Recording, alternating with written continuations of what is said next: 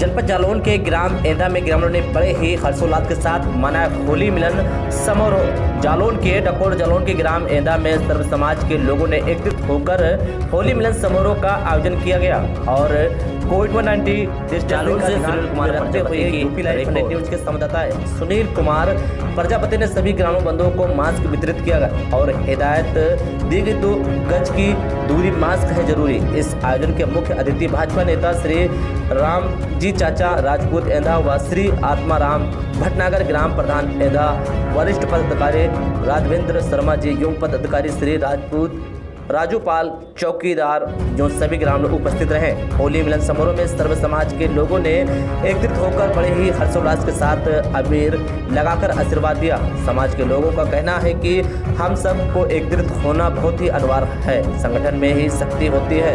हम सबको एक होना है। कोई भी काम मुश्किल से मुश्किल काम आसान हो सकता है। एकत्रित